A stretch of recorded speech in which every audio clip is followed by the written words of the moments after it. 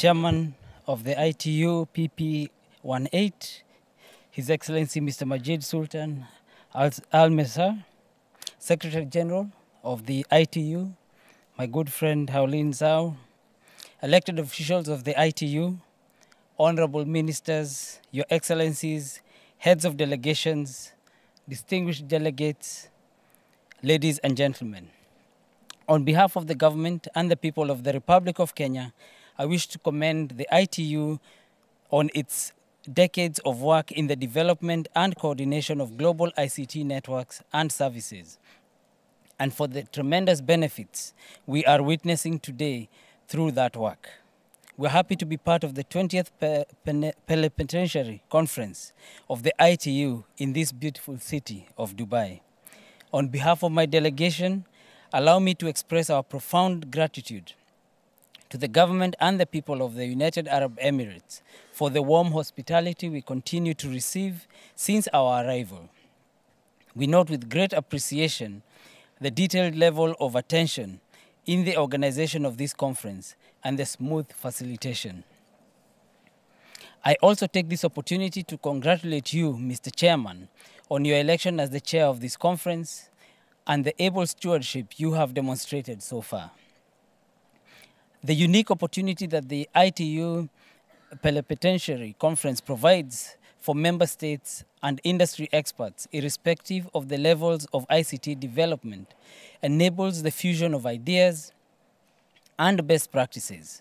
Through this, we can articulate a global vision for the development of ICTs over the ensuing years of this decade.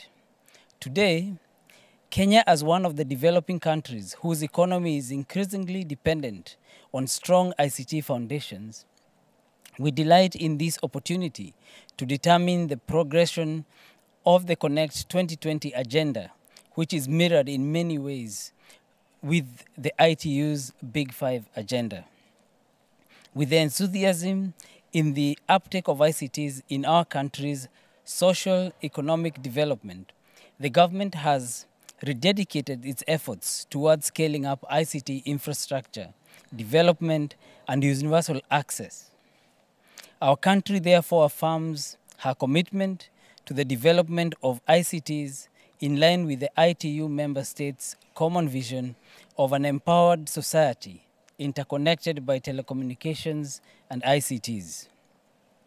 The government of Kenya acknowledges the crucial role of ICT and therefore categorizes it as an enabler and driver of our economy, as articulated in our economic blueprint, the Vision 2030, and indeed the current administration's Big Four agenda as well.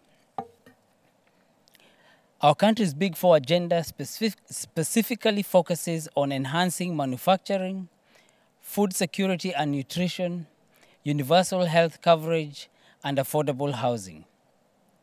In our Big Four agenda, ICTs are recognized as the common denominator that brings Vision 2030 and the Big Four together. The ever increasing products and services from the ICTs, such as emerging mobile commerce transactions, growth in mobile money services, and increasing innovation products, innovative products in the country, are providing us with key indications of the uptake of ICTs in Kenya. We are equally positioning ourselves to leverage on the emerging technologies and services such as cloud computing, artificial intelligence, distributed ledgers such as blockchain, and many others, notwithstanding the risks and challenges to leapfrog in our sustainable social economic development. At the core is the collaborative spirit between government and the private sector. In furtherance of innovation strategy, we are keen to build the capacity of our young people and harness their potential in the promotion of telecommunications and ICT applications. Through our Presidential Digital Talent Program, we have invested in training young people and creating an environment for higher absorption rate into the job market. On the other hand, we have initiated programs such as the Ajira Digital Program to train and also sensitize youth on the need to take advantage of online work and digitally enabled jobs. In less than six years, our citizens are now able to access over 80 government services at one stop uh, shops following the implementation of an e citizen portal complete, complemented with a chain of public access points, commonly known as Huduma centers. We are currently digitizing our land registry to increase efficiency in processing land records as well as automation of government services. In an effort to improve on our inclusivity goals, our country has embarked on the policy and legal frameworks that will continually support further development of existing innovations on mobile money services, including seamless interoperability for ease of access by consumers. Through the Universal Service Fund strategies, the country is making efforts to close less than 6% of the population that are not currently covered by basic communication services.